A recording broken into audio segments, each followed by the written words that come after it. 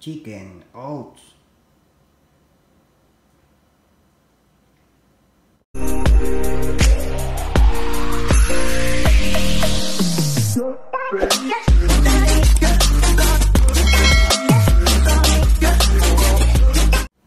Hi guys! Welcome to my channel. Ngayon ay magluluto tayo ng chicken oats. Ito ang ating mga sangkap. Ground black pepper, salt, white oats, breadcrumbs, 2 eggs, and breast chicken. Tara, simulan na natin. Now, ready na natin ang ating oven. Iset natin. Press on.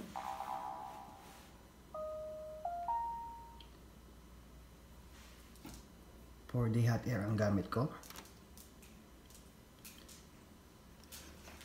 Sa 180 degrees Celsius. Okay. Pindutin ko lang ang start.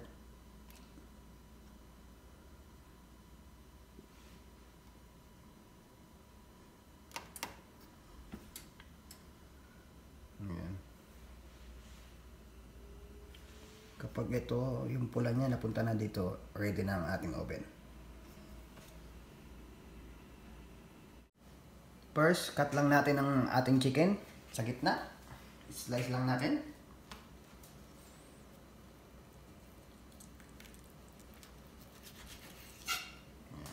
Ganyan lang ang hati natin.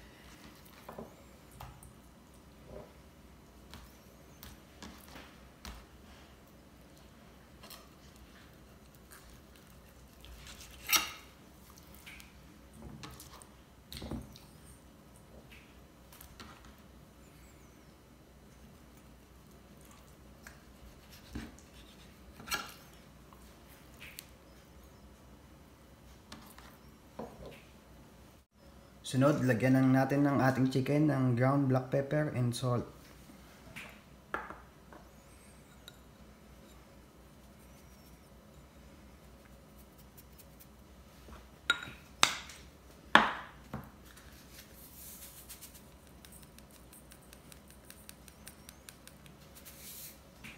And then mix.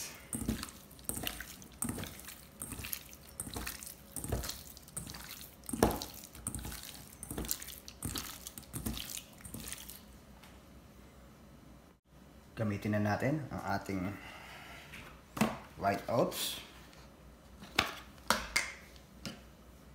1 cup lang.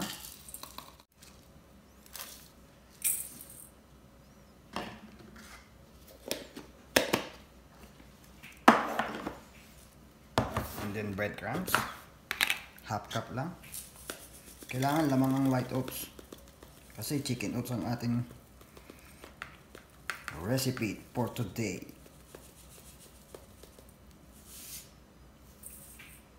Ayan, mimix lang din natin siya.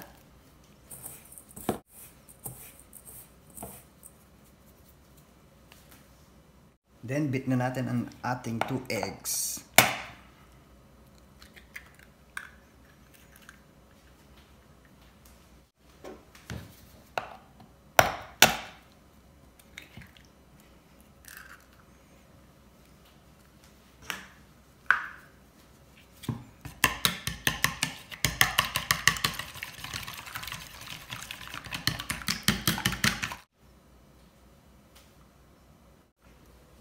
Now, gawin na natin ang ating chicken oats.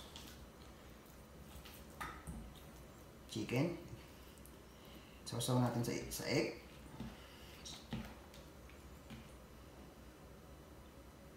Then, breadcrumbs.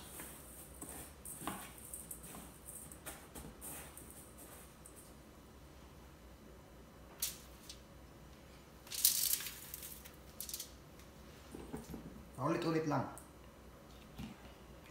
chicken, egg, and then breadcrumbs, and then lagay na natin sa tray.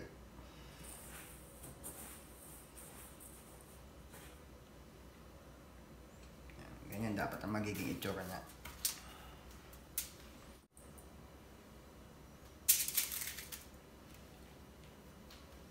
Yan. Ready na siya.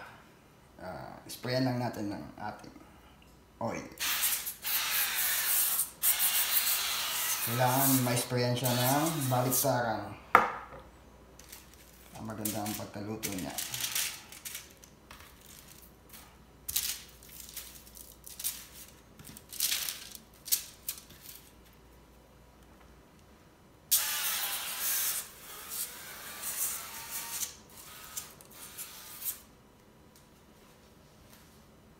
Ready na ang ating oven. Ilagay na natin siya.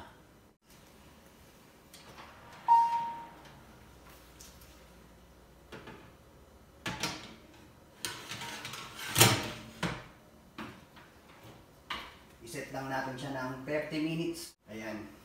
Kapag nag 15 minutes na siya, babalik tayo natin siya. Hintay lang natin siya maluto. 15 minutes na. Baliktad na natin.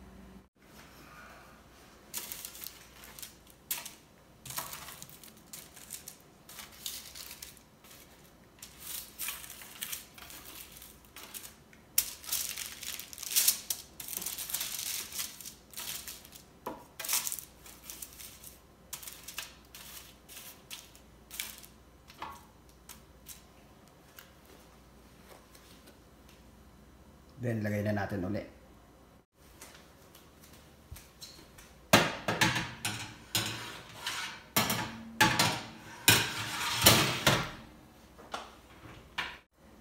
Ready na ang ating chicken oats.